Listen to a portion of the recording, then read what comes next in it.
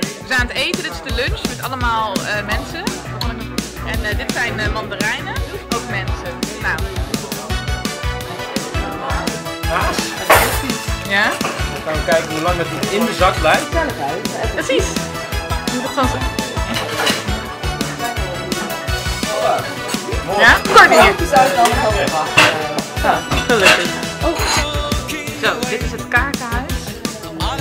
Want hele leven is een.